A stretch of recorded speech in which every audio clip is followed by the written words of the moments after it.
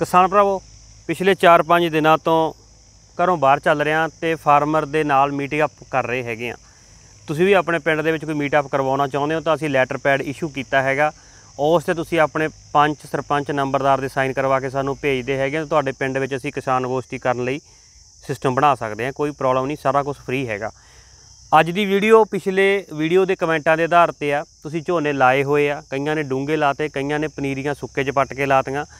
ਤੇ ਇੱਕ ਦਿੱਕਤ ਆਉਂਦੀ ਹੈਗੀ ਆ।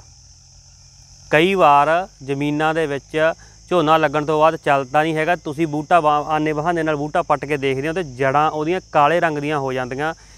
ਬੈਡ ਸਮੈਲ ਆਉਂਦੀ ਆ ਉਹਦੇ ਵਿੱਚੋਂ ਤੇ ਤੁਸੀਂ ਫਿਰ ਕੋਈ ਫੰਗੀਸਾਈਡ, ਕੋਈ ਹਾਰਮੋਨ, ਕੋਈ ਦਾਣੇਦਾਰ ਕੀਟਨਾਸ਼ਕ ਪਾਉਣੇ ਹੋ ਵੀ ਬੂਟਾ ਮਾਰੇਗਾ। ਬੂਟੇ ਨੂੰ ਤੁਸੀਂ ਇਹ ਸਿਸਟਮ ਬਣਾਉਣ ਦੇ ਲਈ ਮਜਬੂਰ ਕੀਤਾ। ਤੇ ਆਪਣੀ ਪਹੁੰਚ ਨਹੀਂ ਹੈਗੀ ਵੀ ਆਪਾਂ ਕੁਦਰਤ ਦੇ ਵਿੱਚ ਕਿਸੇ ਚੀਜ਼ ਨੂੰ ਜਿੰਦਾ ਕਰ ਦਗੇ ਕਿਸੇ ਨੂੰ ਮਾਰ ਦਗੇ ਪਰ ਜਿਹੜਾ ਸਿਸਟਮ ਆਪਾਂ ਗਲਤੀਆਂ ਦੇ ਤਹਿਤ ਕਰਦੇ ਹੈਗੇ ਆ ਉਹਨੂੰ ਫਿਰ ਕਿਸੇ ਵਾਧੂ ਖਰਚ ਦੇ ਨਾਲ ਆਪਾਂ ਨੂੰ ਠੀਕ ਕਰਨ ਦੀ ਕੋਸ਼ਿਸ਼ ਵੀ ਕਰਦੇ ਹੈਗੇ ਆ ਦੋਨਾਂ ਚੀਜ਼ਾਂ ਦੇ ਨਾਲ ਆਪਣਾ ਸਮਾਂ, ਧਿਆਨ, ਪੈਸਾ ਦਿਨੇ ਖਰਾਬ ਹੁੰਦੇ ਹੈਗੇ ਆ। ਝੋਨੇ ਦੀਆਂ ਜੜਾਂ ਜੇ ਕਾਲੀਆਂ ਹੋ ਰਹੀਆਂ, ਕਿਸੇ ਫੰਗੀਸਾਈਡ ਦੀ ਲੋੜ ਨਹੀਂ ਹੈਗੀ।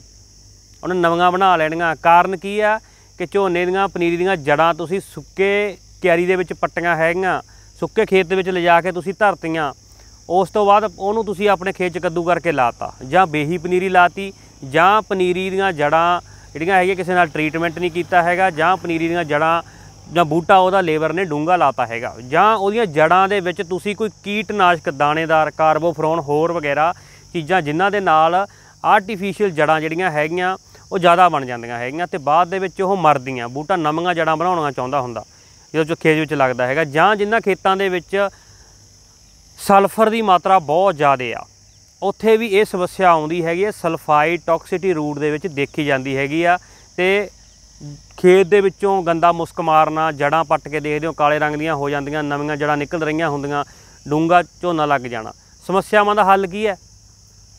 ਪਹਿਲੇ 15 ਦਿਨਾਂ ਦੇ ਵਿੱਚ ਕੋਈ ਗੰਦ ਪਾਉਣ ਦੀ ਲੋੜ ਨਹੀਂ ਹੈਗੀ, ਕੋਈ ਫੰਗੀਸਾਈਡ, ਇਨਸੈਕਟੀਸਾਈਡ ਪਾਉਣ ਦੀ ਲੋੜ ਨਹੀਂ ਹੈਗੀ, ਦਾਣੇਦਾਰ ਕੀਟਨਾਸ਼ਕ ਪਾਉਣ ਦੀ ਲੋੜ ਨਹੀਂ ਹੈਗੀ, ਤੁਹਾਨੂੰ ਨਾ ਹੀ ਤੁਸੀਂ ਸਪਰੇਅ ਕਰ ਸਕਦੇ ਹੋ, ਕਿਉਂਕਿ ਨਵਾਂ ਪੱਤਾ ਹਜੇ ਫਸਲ ਨਹੀਂ ਕੱਢਿਆ ਨਹੀਂ ਹੈਗਾ। ਦੋ ਦਿਨ ਪਾਣੀ ਭਰੋ, ਇੱਕ ਦਿਨ ਸੁਕਾਓ, ਦੋ ਦਿਨ ਪਾਣੀ ਭਰੋ, ਇੱਕ ਦਿਨ ਸੁਕਾਓ। ਜ਼ਿੰਕ ਆਕਸਾਈਡ ਯੂਰੀਆ ਦੇ ਉੱਤੇ ਕੋਟ ਕਰਕੇ ਛਿੱਟਾ ਮਾਰ ਦਿਓ। ਪਲਾਂਟ ਨੂੰ ਵਾਧੇ ਵਿਕਾਸ ਲਈ ਸ਼ੁਰੂਆਤੀ ਤੌਰ ਦੇ ਉੱਤੇ ਜੇਕਰ ਜ਼ਿੰਕ ਮਿਲਦਾ ਹੈਗਾ ਤਾਂ ਵਧੀਆ ਗੱਲ ਆ ਜਿਨ੍ਹਾਂ ਖੇਤਾਂ ਵਿੱਚ ਤੁਸੀਂ ਕੱਦੂ ਵੀ ਕਰ ਦਿੰਦੇ ਹੋ ਤਾਂ ਉਹਨਾਂ 'ਚ ਪਾਣੀ ਵੀ ਨਹੀਂ ਸੁੱਕਦਾ ਹੁੰਦਾ। ਚਾਹੇ ਰੋਡ ਵਾਲੀਆਂ ਜ਼ਮੀਨਾਂ, ਚਾਹੇ ਚਿਕਨੀਆਂ ਜ਼ਮੀਨਾਂ, ਚਾਹੇ ਜ਼ਿਆਦੇ ਲਾਲ ਭਾਰੀਆਂ ਜ਼ਮੀਨਾਂ ਹੈਗੀਆਂ। ਕਲੇ ਸੋਇਲ ਕਹਿੰਦੇ ਆ ਜਿਹਨੂੰ ਆਪਾਂ, ਲਾਲ ਚਿਕਨੀਆਂ ਜ਼ਮੀਨਾਂ। ਜਿਨ੍ਹਾਂ ਦੇ ਵਿੱਚ ਕਈ ਵਾਰੀ ਮੈਂ ਦੇਖਿਆ 8 ਦਿਨਾਂ ਤੱਕ ਵੀ ਪਾਣੀ ਨਹੀਂ ਸੁੱਕਦਾ ਹੈਗਾ। ਉਹ ਕਹਿੰਦੇ ਸਾਡੇ ਜੇ ਤਕੜਾ ਮੀਂਹ ਪੈ ਜੇ, ਅਸੀਂ 15 ਦਿਨ ਮੋਟਰ ਦੀ ਸੁੱਚ ਬੰਦ ਕਰਕੇ ਆਉਣੇ ਆ ਟਰਾਂਸਫਾਰਮਰ ਦੀ ਸੁੱਚ ਕੱਟ ਕੇ ਆਉਣੇ ਆ।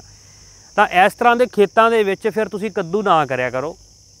ਜਾਂ ਤੁਸੀਂ ਨਾਰਮਲ ਸੁਹਾਗਾ ਲਾਉਣਾ, ਪਾਣੀ ਲਾਤਾ, ਉਹ ਖੇਤ ਨੂੰ ਗਿੱਲਾ ਕਰ ਲਿਆ ਤਾਂ 2 ਦਿਨ ਪਹਿਲਾਂ ਇਹ ਐਕਟੀਵਿਟੀ ਕਰਕੇ ਉਦੋਂ ਬਾਅਦ ਨਾਰਮਲ ਤਰੀਕੇ ਦੇ ਨਾਲ ਤੁਸੀਂ ਝੋਨਾ ਲਾ ਦਿਆ ਕਰੋ। ਰੋਟਾਵੇਟਰ ਦੀ ਵਰਤੋਂ ਇਹਨਾਂ ਖੇਤਾਂ ਦੇ ਵਿੱਚ ਬੰਦ ਕਰ ਦਿਓ। ਸਰਦੀਆਂ ਦੇ ਵਿੱਚ ਸਬਸੋਇਲਰ ਲਗਾ ਲਿਆ ਕਰੋ ਜਾਂ ਕੋਈ ਹੋਰ ਐਕਟੀਵਿਟੀ ਪਰ ਜਿਹੜੀਆਂ ਝੋਨੇ ਦੀਆਂ ਜੜਾਂ ਕਾਲੀਆਂ ਹੋ ਰਹੀਆਂ, ਤੁਹਾਡੀ ਗਲਤੀ ਕਰਕੇ ਹੋ ਰਹੀਆਂ, ਤੁਹਾਡੀ ਅਣਗਹਿਲੀ ਕਰਕੇ ਹੋ ਰਹੀਆਂ ਹੈਗੀਆਂ, ਤੁਸੀਂ ਗਲਤੀ ਪਹਿਲਾਂ ਵੀ ਕਰੀ ਸੀ ਐਕਟੀ ਵੀ ਕਰਤੀ। ਕਈ ਵਾਰ ਝਾੜ ਗਲਤੀ ਕਰਕੇ ਚੰਗੇ ਆ ਜਾਂਦੇ ਆ। ਕਈ ਵਾਰ ਗਲਤੀ ਕਰਕੇ ਝਾੜ ਘ- ਘਟ ਜਾਂਦੇ ਹੈਗੇ ਆ। ਦੋਨੇ ਵਾਰੀ ਆਪਾਂ ਨੋਟ ਨਹੀਂ ਕਰਦੇ ਤੇ ਦੋਨੇ ਵਾਰੀ ਆਪਾਂ ਫਿਰ ਅਗਲੇ ਵਾਰੀ ਵੀ ਇਹਨਾਂ ਦੋਨੋਂ ਚੀਜ਼ਾਂ ਨੂੰ ਆਪਾਂ ਕਰਦੇ ਰਹਿੰਦੇ ਹੈਗੇ ਆ ਝਾੜ ਆ ਗਿਆ ਤਾਂ ਆਪਾਂ ਲੇਬਲ ਆਪਦੇ ਤੇ ਲਾ ਲੈਂਦੇ ਹੈਗੇ ਝਾੜ ਨਹੀਂ ਆਉਂਦਾ ਹੈਗਾ ਤੇ ਆਪਾਂ ਫਿਰ ਕੁਦਰਤ ਨੂੰ ਕੋਸ ਦਿੰਦੇ ਹੈਗੇ ਆ ਜਾਂ ਹੋਰ ਮੌਸਮ ਨੂੰ ਕੋਸ ਦਿੰਦੇ ਹੈਗੇ ਆ ਜਾਂ ਬਾਣੀਆਂ ਨੂੰ ਕੋਸ ਦਿੰਦੇ ਹੈਗੇ ਬੀ ਮਾੜਾ ਦਿੱਤਾ।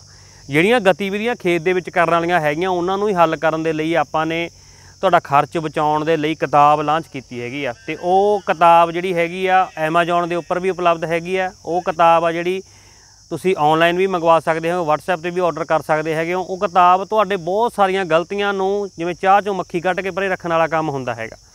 ਪਰ ਜਦੋਂ ਆਪਾਂ ਗਲਤੀਆਂ ਜ਼ਿਆਦਾ ਵੱਡੀਆਂ ਕਰਦੇ ਹੈਗੇ ਆ, ਫਿਰ ਸਮੱਸਿਆ ਬਹੁਤ ਜ਼ਿਆਦਾ ਵੱਡੀ ਹੋ ਜਾਂਦੀ ਹੈਗੀ ਆ। ਫਿਰ ਸਮੱਸਿਆਵਾਂ ਦਾ ਹੱਲ ਜੇਬ ਚੋਂ ਹਰੇ ਗੁਲਾਬੀ ਨੋਟ ਖਰਚਣ ਨਾਲ ਹੱਲ ਨਹੀਂ ਹੁੰਦਾ ਹੈਗਾ, ਫਿਰ ਸਮਾਂ ਜਾਇਆ ਹੁੰਦਾ ਹੈਗਾ।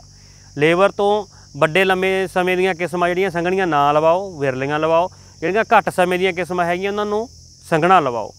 ਲੇਬਰ ਦੇ ਨਾਲ ਧੱਕਾ ਨਹੀਂ ਕਰਨਾ ਚਾਹੀਦਾ ਹੈਗਾ। ਲੇਬਰ ਅਗਰ ਸਹੀ ਤਰੀਕੇ ਨਾਲ ਲਾ ਕੇ ਜਾਂਦੀ ਆ, ਸਹੀ ਸਮੇਂ ਤੇ ਪਨੀਰੀ ਪੱਟੀ ਜਾਂਦੀ ਹੈ ਸਹੀ ਤਰੀਕੇ ਨਾਲ ਪਨੀਰੀ ਪੱਟੀ ਜਾਂਦੀ ਹੈ ਪਾਣੀ ਭਰ ਕੇ ਕਿਆਰੀਆਂ 'ਚੋਂ ਪਨੀਰੀ ਪੱਟਦੇ ਹੋ, ਤਾਂ ਇਹ ਮੁਸ਼ਕਲਾਂ ਤੇ ਆਉਣੀਆਂ ਹੀ ਨਹੀਂ ਚਾਹੀਦੀਆਂ ਹੈਗੀਆਂ। ਮੈਂ ਬਹੁਤ ਜਗ੍ਹਾ ਤੇ ਦੇਖਦਾ ਹੈਗਾ, ਉੱਥੇ ਫਾਰਮਰ ਗਲਤੀਆਂ ਕਰੀ ਜਾਂਦੇ ਆ, ਜਿੱਥੇ ਉਹਨਾਂ ਨੂੰ 60-60 ਸਾਲ 50-50 ਸਾਲ ਹੋ ਗਏ ਝੋਨਾ ਲਾਉਂਦਿਆਂ ਨੂੰ। ਕਿਉਂਕਿ ਗਲਤੀਆਂ ਕਰਨ ਦੀ ਆਪਣੀ ਆਦਤ ਬਣ ਚੁੱਕੀ ਆ, ਹੱਡੀ ਹਟਾਈ ਹਟਾਈ ਬੈਠੇ ਆ। ਕੁਝ ਚੀਜ਼ਾਂ ਦੇ ਤਜਰਬੇ ਆਪਾਂ ਗਲਤ ਕਰ ਲਏ ਤੇ ਉਹ ਉਹਨਾਂ ਨੂੰ ਆਪਾਂ ਲਗਾਤਾਰ ਕਰਨਾ ਚਾਹੁੰਦੇ ਆ, ਉਹਨਾਂ ਨੂੰ ਆਪਾਂ ਛੱਡ ਨਹੀਂ ਰਹੇ। ਇਹ ਬਹੁਤ ਵੱਡੀ ਸਮੱਸਿਆ ਹੈਗੀ ਹੈ ਜਾਣਕਾਰੀਆਂ ਹੋਰ ਦੇਖਣ ਦੇ ਲਈ ਇੰਸਟਾਗ੍ਰam YouTube, Facebook ਤੇ ਬੜੇ ਰਹੋ ਤੇ ਤੁਹਾਡੇ ਨਾਲ ਇਸੇ ਤਰੀਕੇ ਦੇ ਨਾਲ ਜਾਣਕਾਰੀਆਂ ਸਾਂਝੀਆਂ ਕਰਦੇ ਰਹਾਂਗੇ। ਸਾਰੇ ਵੀਰਾਂ ਦਾ ਬਹੁਤ ਬਹੁਤ ਧੰਨਵਾਦ।